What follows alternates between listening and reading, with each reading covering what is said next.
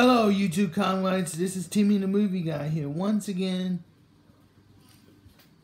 we got another, yet another new chair, everybody. We got new something. What happened to my old chair? I can't use anymore. But it won't to detail. But look at that. This is my new chair. That'll do for this update. I'll see you guys next time. Bye, folks.